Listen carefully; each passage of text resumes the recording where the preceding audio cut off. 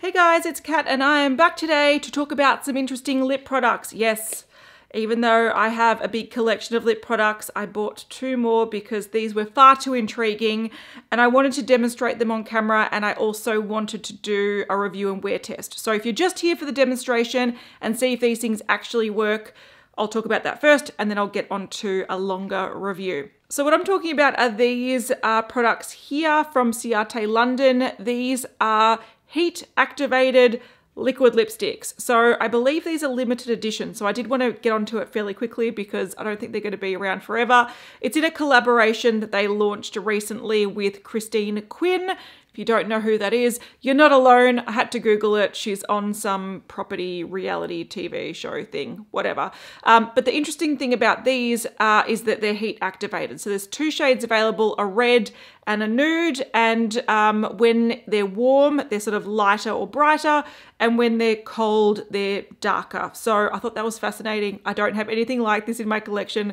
So I really wanted to try it out. So the name of these are Heat Flip Lip Creams and uh, they're supposed to be comfortable, long-wearing, soft matte lip creams infused with nourishing actives. So the two shades available, there's a classic nude called Drama Queen and a brooding Bordeaux red called Cash Fetish. These are vegan, gluten-free, cruelty-free, and uh, the direction is that you apply one coat, let it dry for one minute, and then watch the color transform at different temperatures. Now you can buy these on the Ciate website. As I'm filming this, these are currently on sale, um, but I bought mine in Australia at Mecca. They're online exclusive at Mecca, and I think they're $27 each. But I'll link a few places down below if you're interested. Uh, Ciate also have a UV Reactive lip gloss. Um, that came out a few months ago and I believe they're permanent, whereas I think these are limited edition. So they're lip glosses that when you're out in the sun, they change color and when you're in the shade, they go a different color. Um, so similar kind of concept, but this is a matte liquid lipstick and it's temperature change, not UV change. But I do like seeing them play around with um, different color changing sort of technology. I just think it's fascinating. All right, so I've just waited for these to dry, which did take a couple of minutes, but there were thick parts, so it is what it is. It's currently quite warm today, so most of what you see is the warm color. I think a little bit of the thick part, I don't know if that's just layered product or if it's a little bit cooler, I'm not too sure. But because this is the warm color, I have got a frozen vodka bottle because apparently we're a household that doesn't use ice. So I'll just lay that on. So I'm trying to cover half the swatch so you can see the color. And I'll just leave it for a second for it to cool down a bit because my hands are quite warm. But there we go. So the color changed. But now I'll get my cup of hot water and try to even it out so we can do half-half if that's possible.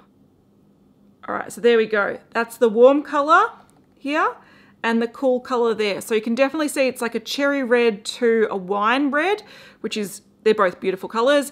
And again, more of a pinky peachy nude to more of a grayish nude. Again, both beautiful colors. I love them all, which is also one of the reasons I wanted to buy them both because they're definitely shades that I enjoy using. So I'm going to now lip swatch them, show you the colors on the lips and do a wear test and review. All right, nude one first. I'll do the wear test on the red one. Um, this does have a nice sort of squidged doe foot applicator. So it does uh, hold quite a nice amount of product and it smooths on quite easily. So there we go. My lips bit better. It's a great color.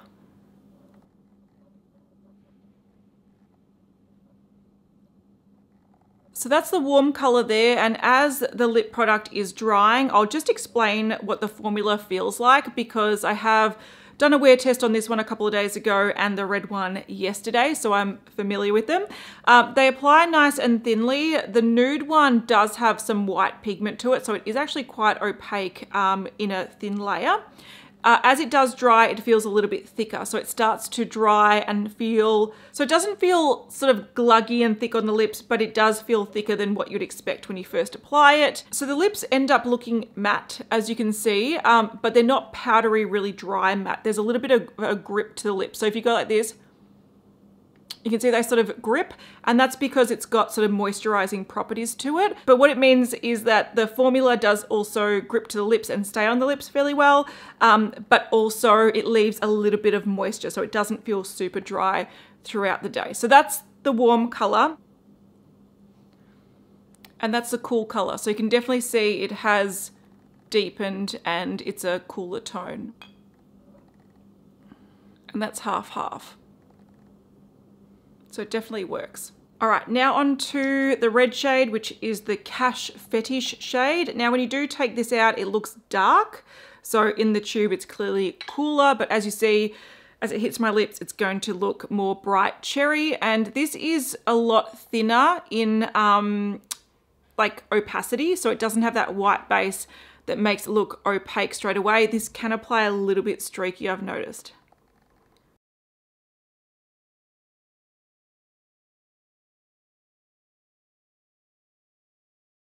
So the pigmentation isn't super, super opaque. It's nice and even and quite bold, but if you do press your lips together too much as you're sort of applying it, it can move it around and make sort of some patchiness. So I would say put a thin layer on and just sort of let it dry before you press your lips together because as I explained before, um, when it does dry, it feels a little bit thicker. So you don't want to apply too much because you would feel a little bit cakey on the lips. But this is the sort of cherry red warm color. It's gorgeous. I love it. Dries really quickly as well when you apply a nice thin layer. All right, now for the cold color. Where's my vodka bottle? That's a beautiful color. Look how cool that looks. It's a beautiful wine red. You can see, look, inner portions though are like, my face is still warm, so it's starting to turn back pretty quickly. But I love both these colors. The bright one's a beautiful, fun, vibrant red, and this one is a really beautiful, rich wine red, which I love. I think it's really gorgeous. And there's half half. So both of them, I love them both. All right, so if you wanted to know if these work, they absolutely do. Um, but the next part is going to be a wear test and I'm gonna check back in with my review and conclusion of what I think about these just in general as a lip product. All right, lip product check-in time. Um, I've been wearing this for about four and a half to five-ish hours. Uh, this is just before dinner. So um, I have eaten since applying it, but I've been just like snacking, nothing oily or substantial. So it has worn pretty well um, in the time that I've been wearing it. And it sort of just fades off quite subtly on the inner part. So I was interrupted before by this kid. So essentially, look, it's wearing well, it feels nice. Um, I think a thin layer is definitely the best way to go. Yesterday I wore this a bit thicker and it felt a little bit chunkier at this time, but I did want to show it to you before I have dinner. All right, last check-in, and this is around nine hours ish wear um, of the lip product, and I think this is looking pretty good, especially since I had pesto pasta for dinner, which is notoriously oily um, and I still have some oiliness on my lips. I can feel the oil has sort of mm, worked in with the lip product. The lip product is no longer budge proof. I forgot to say that before. It was actually budge proof. So even though it had that stick um, and that moisture to it, it didn't transfer on things that I was sort of um, drinking or touching or whatever. I could kiss my kid and it wouldn't transfer. So I reckon if you gave, you know, someone a big smooch, it would transfer a bit, but it was pretty good at staying on the lips. So there's that. But now that it's worked in with the oils, um, this is a little bit more smeary, which is fine. One thing I do like about this is that it's it's fading down evenly. Now, if you watched my Project Apocalypse series where I'm testing out my whole lip collection, um, and I check in every month and let you know what I'm keeping and what I'm getting rid of, you'll know that I really hate lip products that fade down patchy. So you like to have that rim of color and then the inside is completely gone or just like wears off chunky. I really like a lip product that fades down evenly and that's what this has done and this gives me a lot more confidence to wear this time and time again because even though, you know, it's not as opaque and bold as it once was, um, it still looks like a blotted sort of cherry red lip, which I like. So after a couple of meals and nine hours wear, I'm really happy with how this is wearing. I do have to say though that I think the key with this is to apply a thin layer um, because when I did wear this yesterday, um, I applied a thicker layer to get more of an opaque um, effect on the lips and I found that it was a little bit heavy and felt a little bit chunky um, as it was wearing down. So I feel like the thin layer really um, helps these lip products uh, last a long time and look flattering. So I like the liquid lipstick formula overall, but the real question is, what do I think about the color transforming element? Like, is it a gimmick or is it something that's, that's actually quite functional? And I actually think it's both. What I like the most about these is the colors that they've chosen. So each shade um, and its color varieties are really flattering colors. Like you don't get a nice nude that turns into a garish pink. You get some really nice flattering reds and really nice flattering nudes. So I, I would wear all four shades all year round. So I love the shades they chose, but I also really like the fact that in warmer weather, you get the bright red lip, you get the lighter, sort of peachier, pinky nude, um, which sort of is the shades that I would reach for in the warmer weather anyway.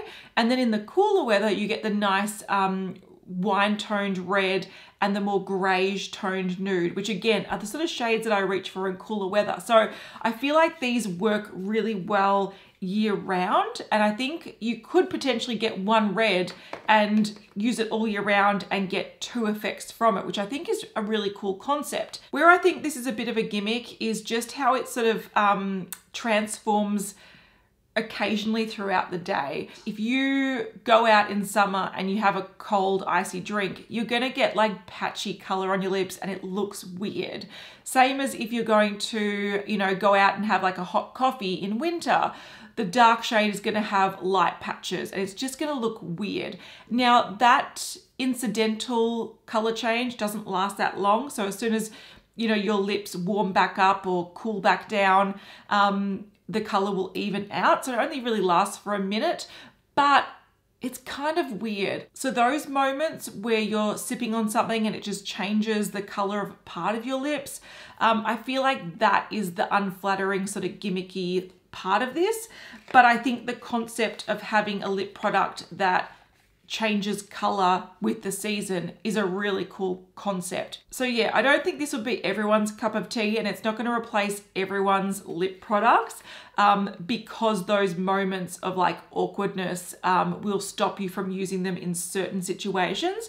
But I I like the concept still, and I think the colors they've chosen are really, really great, and the formula is really nice as well. So um, I will continue to happily use them, and I'm glad I picked them up. But yeah, let me know what you think of the concept of these. Um, would you wear them? So thank you so much for watching. If you do want to find out where you can get these, I will list a few places in the description box, and I'll see you in the next one. Bye.